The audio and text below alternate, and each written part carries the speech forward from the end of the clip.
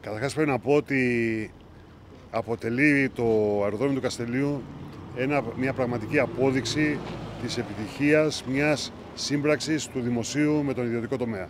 Και αυτό είναι πάρα πολύ σημαντικό να το λέμε.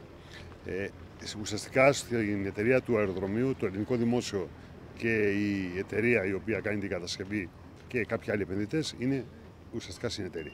Καταλαβαίνετε λοιπόν ενδιαφέρει πάρα πολύ το δημόσιο επιτυχία αυτού του εγχειρήματος και αποδεικνύεται ότι πηγαίνει πραγματικά σύμφωνα με τα χρονοδιαγράμματα και με τους προγραμματισμούς. Και αυτό είναι πραγματικά εντυπωσιακό.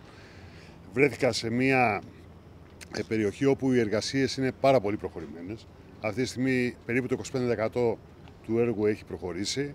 Ε, θα ε, ενισχύσουμε τις δυνάμεις μας όσο μπορούμε και εμείς ως δημόσιο για να μπορέσουμε να ανταποκριθούμε στις υποχρεώσεις αυτής της σύμπραξης. Εκείνο που είναι σίγουρο είναι ότι η Κρήτη σύντομα, πολύ σύντομα, θα αποκτήσει ένα αεροδρόμιο το οποίο πραγματικά θα αποτελεί και ένα τοπόσιμο για την περιοχή, για το οποίο θα, μπορούσε, θα μπορεί να είναι και περήφανη.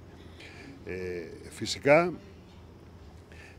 ε, νομίζω ότι πρέπει και οι ίδιοι οι φορείς της Κρήτης να αποδεχθούν ότι η επένδυση του ελληνικού δημοσίου και της σημερινής κυβέρνησης στην ε, περιοχή είναι κάτι στο οποίο και οι ίδιοι πρέπει να συμπράξουν για να έχει ακόμα μεγαλύτερο βάθος στον χρόνο.